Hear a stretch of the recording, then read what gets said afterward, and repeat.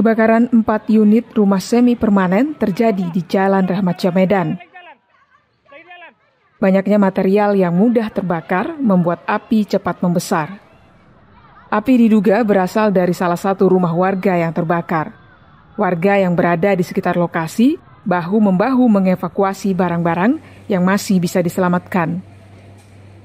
Petugas mengalami kesulitan dikarenakan sempitnya lokasi dan ramainya warga yang melihat peristiwa kebakaran tersebut.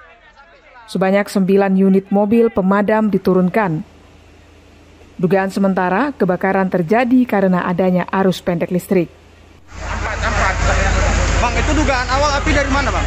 Awal api dari dari, dari arus pendek, karena belum ada apa-apa itu dari arus pendek dan biasa arus pendek listrik. Tidak ada korban jiwa dalam peristiwa kebakaran ini. Tim Liputan Kompas TV, Medan, Sumatera Utara.